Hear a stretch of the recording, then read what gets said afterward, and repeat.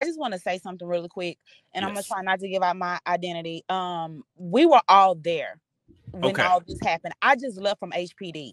First of all, in order to be around Jas Prince, you have to be searched. None of us had guns, but Jas, but Jas people had guns. Okay.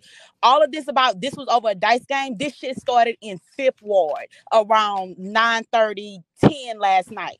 So oh. this had nothing to do with no damn dice game, with no money situation or anything like that. And the only reason why I'm not going to great details because I live in Houston and the Prince family know me.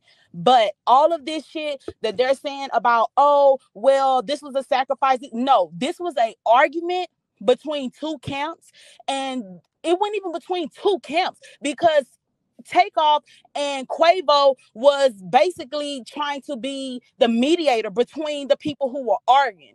Oh so, shit.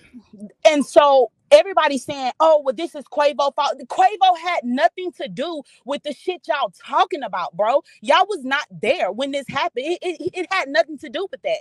So all these 30 second videos that they're seeing, this and that, everybody's saying, well, he didn't act the way how he act whenever um uh takeoff got shot. Did, did they tell you he passed the fuck out?